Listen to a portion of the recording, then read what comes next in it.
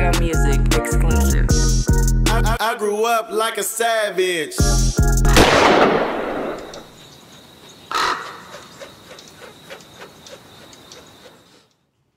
One two one two. You now rocking with the No Vultures podcast. You got me, myself, Laura Rab. You got OG Clee going away on a vacation. Free OG Clee. And today we got a very, very, very, very, very special guest. Now this guy, I know they got a Mount Westmore, right? But sometimes you gotta have an alternate. Sometimes you gotta have a sub. Sometimes it's that guy that's been the people's champ, the hero, the guy that we all know can out rap a lot of motherfuckers and been able to do that. And in the era where I'm from, had to walk like that when you talk like that, right? This guy is literally, this ain't no pun intended, a Sacramento king, a motherfucking legend, right? From being friends and being uh, associates with the late great Tupac Shakur to the E40s to the to to you name it. I mean, this dude is all over the place, man. Man, today we got Sacramento Zone, West Coast Mafia Zone, the motherfucking legend, Cowboy, C-Bo for show. Bo motherfucking low. C-Bo on No Vultures today, man. no vultures. What's Good looking, baby. Man, sir. man, hey, hey, Bo, man, I just gotta say this, man. I ain't proud of it, but I saw a lot of crack to your music, man. you know what I'm saying? As a young, as a very young man, like, you know what I'm saying? Like it's inspirational, bro. I'm just telling you, like, like we look at you like like you one of them ones, man. You you one of them gods. I appreciate it. Appreciate it, man. Um, I want to give you the no vultures disclaimer though. Ever since we started this podcast, you have been one of those guys that we wanted to get. One of those guys that like why we do this shit because this shit is starting the podcast at least for me is because I love it, not Right. just for the bread. It's because I want the stories to be told. Right, right. Like being inspired by like Drink Champs, seeing them tell out like we can find out what was going on with Prodigy and Havoc and Queensbridge, but I want to know how did C-Bo drive from his hood? how did he drive from Garden Block to go hook up with Fody now? You know what I'm saying? That's the stories we want to hear. You know what I mean? So from the inside out. So we don't want to wait to no controversy happen, to no bullshit happen. We want to celebrate a nigga, give him his flowers while he here. So that's the whole Appreciate it. purpose purpose of no vultures. right, right. Appreciate that. So how you doing, bro? Man, I'm blessed, man. I'm blessed, man. And, uh, you know, I can't complain. You know? Yeah, in the bay. Ken, you got him? We good on the mic? Okay. Uh, you in the you in the bay for the for for for a show, man, for the soul beat. Yes, sir. And uh, man, um, I, I must tell you, man, the streets is buzzing. man, that's good. That's good, man. That's how it used to be, though. You know, that's how it was when the motherfucker was coming to the town. Man, the streets is buzzing, bo. Like, like they can't believe it for real. Like, you know what I'm saying? We just had the Loonies on stage together in the same fashion, and um, Yeah, it's the same hype, man. They they they can't believe it, man. that's dope. Um, but you know, on No Vultures, bro, we like to take it from the beginning, right? Right. So, Sacramento born and raised, Straight up, born and raised, man. South side, man. South Side. So when you when you um left the hospital, you went straight to Garden Block. I went to Greenhaven to my grandmother's house. Mm. I was there for about till about five years old. Okay. You know, my mother had me when she was young. She was 15 when she had me. So, you know what I mean? Uh, she had to get out on her own, you know what I mean? And, uh, you know, from there, that's where we went. We went to the south side, you know what I'm saying? Which was already on the south side, but to the hood of it. Right. me? Right. Yeah, yeah, yeah. I know when I was I know when I was young, Sacramento seemed a a, a, a long ways away. Like you know, only time we would go that far is like as far as driving north is to go to the fair right. and to go you know Reno or Tahoe that way. Right, You know what I'm saying? But I had family members in Sac. Yeah. But when you touch down in Sacramento, man, it's like a it's crazy. like you went like it's the state capital, right? So I don't know what you would think, Right. But when you get to that motherfucker, man, you know what I'm Yeah, saying? yeah, it's a whole different ball game. So when you so growing up, you know, in your neighborhood, what was the what was the like soundtrack to your life? Like what was the temperature of the streets? What you heard coming out the cars? The vibration, what was the hustle? Like what was going I on? Far as music, or you just talking about the life? Just like so, all of that. Like so, you know, they was listening to this, but they was hustling like I this. mean, so they it was, was, it was Herbie Hancock. It was Mm. like you know Roxanne Ooh. Shante was uh you know uh uh it was uh, uh, uh Sugar Hill Gang. You know what I mean when we was young. You know what I mean? That was the the vibe of the you know it, it vibrated through our body. You know what I mean? But when when the LL Cool J's and uh, the Ice Cubes, you know MC Shan and Shy D and all them dudes was coming out. You know what I mean? Now that was like okay, they were speaking a, this language mm, that we were walking. You know that we was out there living. So, you know what I mean. That's that just really pushed them- pushed me into that lane of loving music, right. of knowing that damn maybe I can you know they rapping about the lifestyle. You know what I'm saying? A lifestyle. Right. Whether it was mine's or you know what I mean somebody else, a dope dealer or a gangbanger or just a player Right. or right. whatever the case may be. You feel me? So that just made me want to tell my story. Like, damn, you know what I'm saying? So yeah, So it's like, what what was the like first gangster shit you think you heard on wax? man, Ice Cube. I'm gonna say that in WA Because a lot of people say the Ice-T. message. message, but I didn't take it as real gangster. It was more reality message. rap. Message had a message. They was like the, the uncles. Okay. They were like the uncles of the rap game. You feel me? Like they were smart. They knew they were going in the right path. They wasn't on no stupidity shit. Right. You know what I'm saying? Right. So yeah, yeah, yeah. I know I you- was fucking with that. Though. I know you a real hip hop head, right? So Yeah. I got I got to ask you, where was as far as gangster rap, Uh-huh. because you are a gangster rap expert. Where was Kool G Rap in that equation? Ooh, Kool G, he is. They they is gangster. He was rap. gangster. Yeah, Kool G and them gangster rap. Right. For sure. For right? Sure. Right. They had a message too, but they was a little on the jagged, the, the edge of it. Right. You know what I mean? Right. So yeah, yeah, they was living the lifestyle. Um, lifestyle. That's the name of the song. huh? Uh, um, so, but in your neighborhood now, I want to. I, I need to hear this from you, right? Because everybody talks about this, and I know they don't really know the origins of gang shit in Sacramento. Right. So you just spoke of a time when Herbie Hancock was popping, mm. when probably you know breaking in Beat Street was going on, yeah. right? So you got linoleum and cardboard and people dressing a certain way, right? But when did that gang element come? It came right around that time. Okay, Right after that, it was close to that. so crack are already on the street. Crack was cracking. Okay. Crack had just crack crack hit, and we was before the crack really got to our section. We was right there before that. Okay, You know what I'm saying? Uh, uh, man, yeah, crack hit. Uh, gang violence came. See, we right up under the Black Panthers.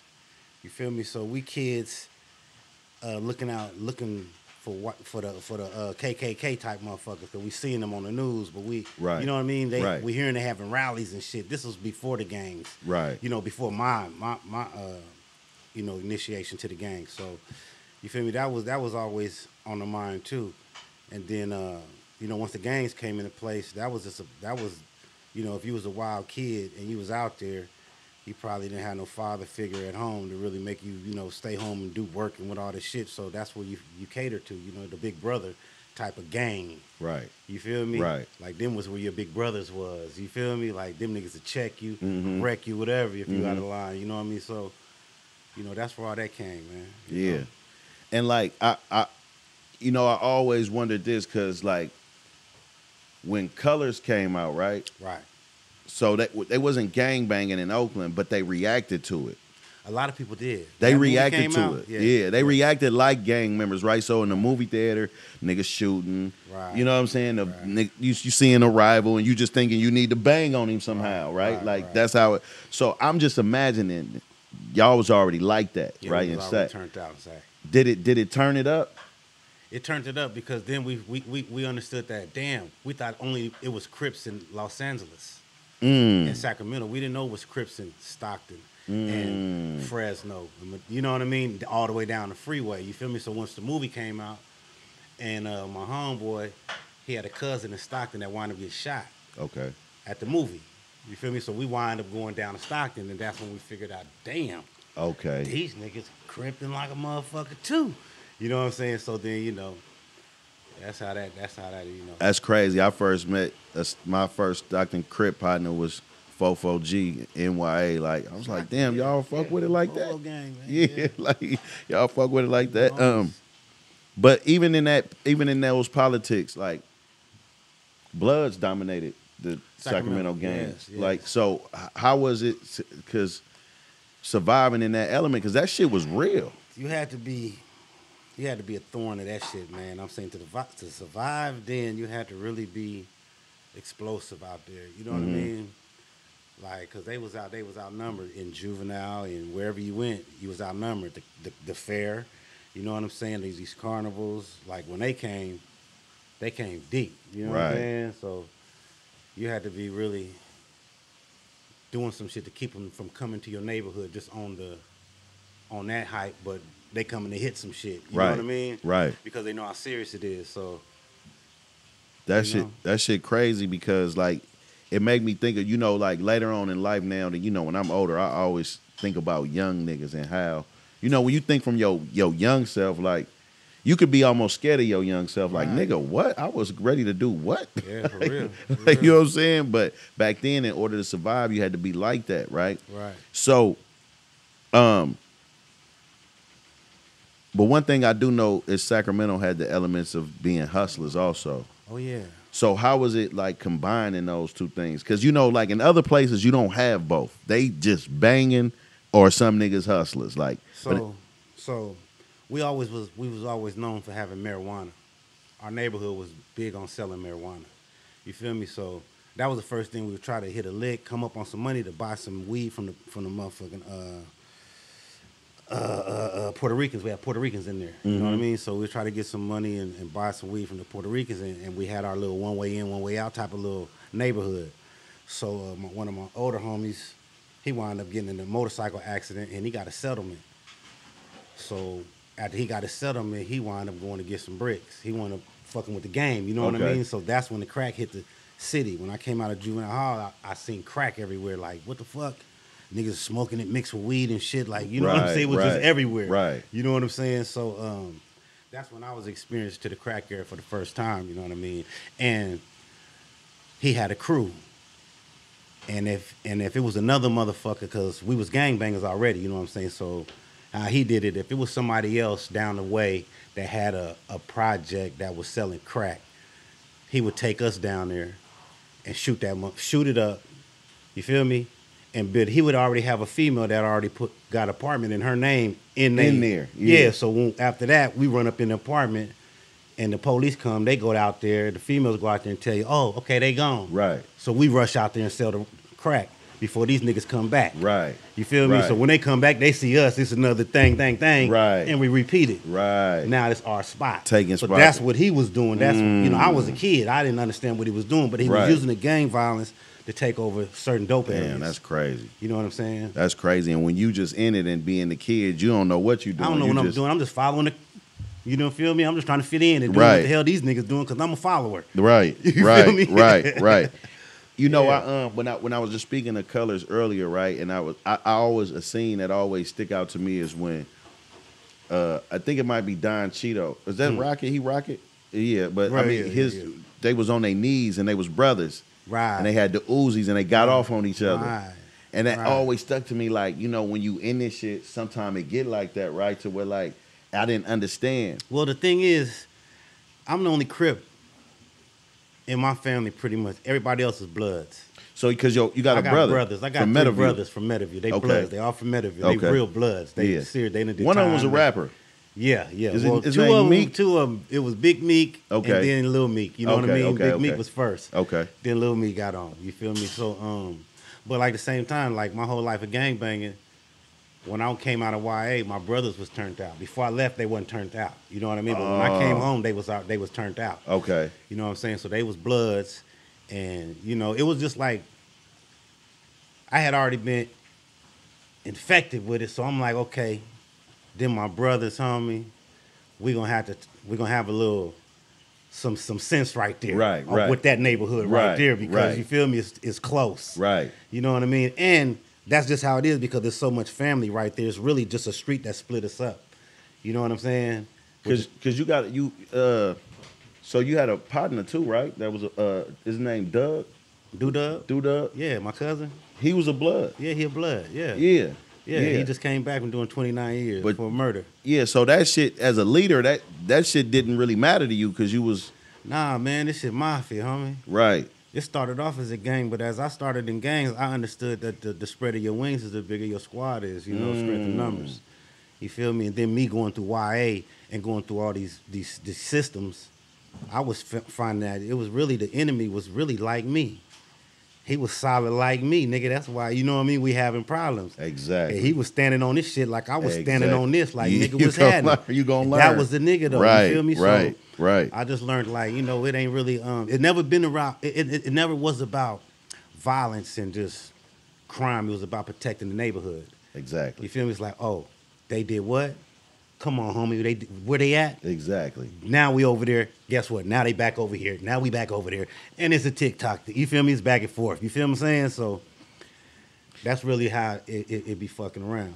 Um, I know you taught you. I don't know the name of the high school uh, out there, but back in the day, it's like when we used to go to a school called Skyline, but y'all had the girls' school. Is it Bishop something? Bishop and no.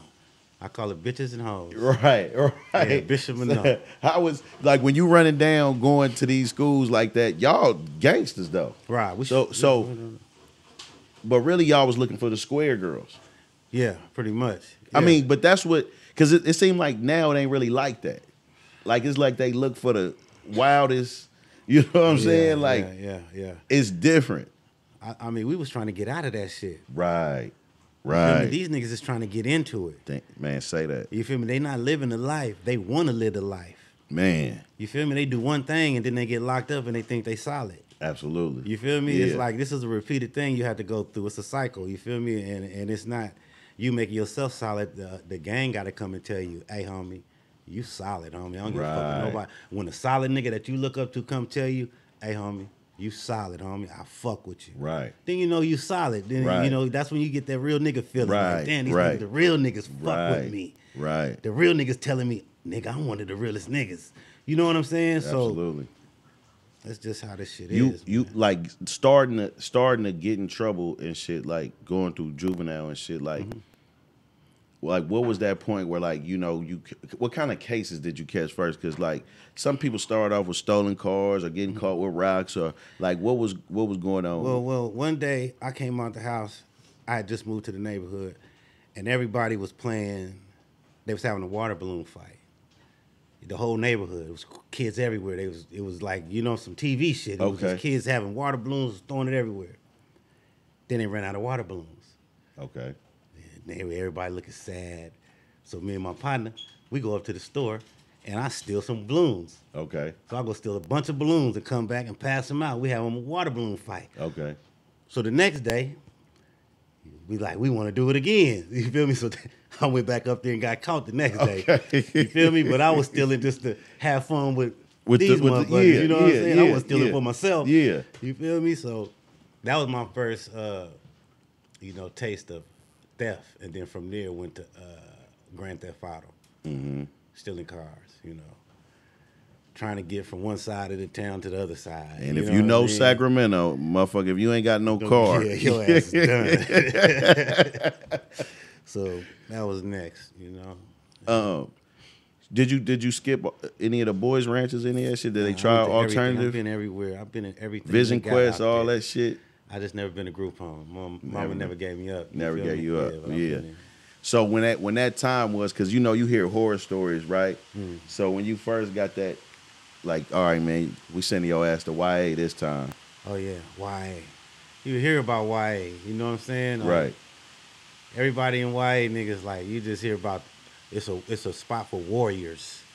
Yes, You know what I'm saying? If you're not a warrior, you don't want to go to YA, dog. man, If you think you ain't finna get in a fight, you crazy. you crazy, you, finna gonna get in a fight, fight. You gonna have to fight. You know what I'm gonna saying? fight, So you know, when, and when I got up in there, everybody was, they had been in there. They had muscles and shit. These niggas had little.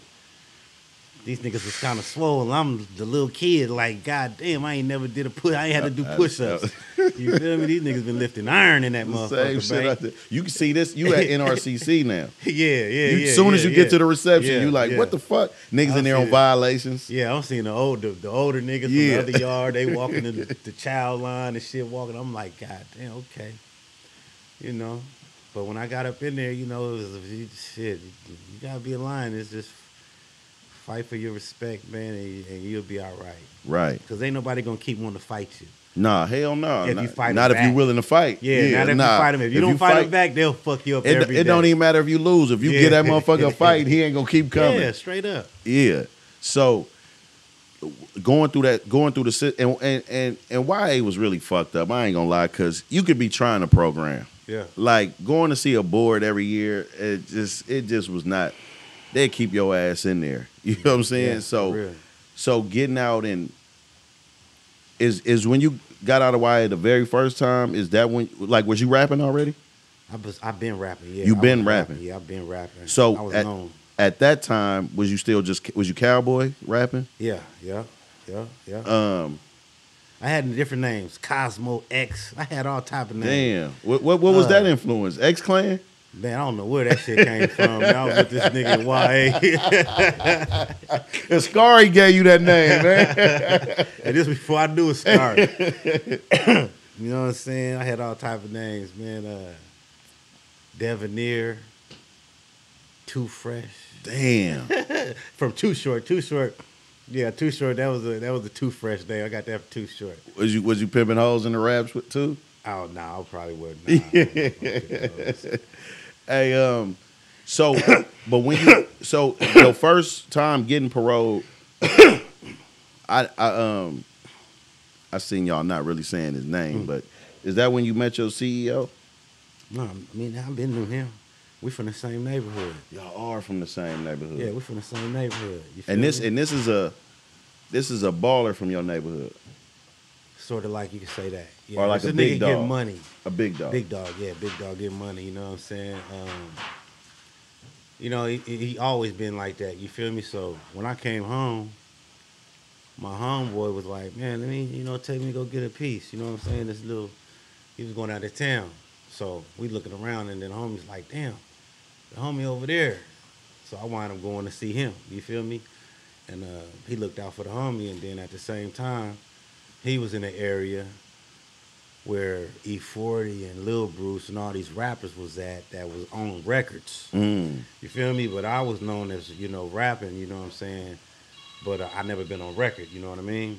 So that was my first time really, um, you know, getting a taste of that.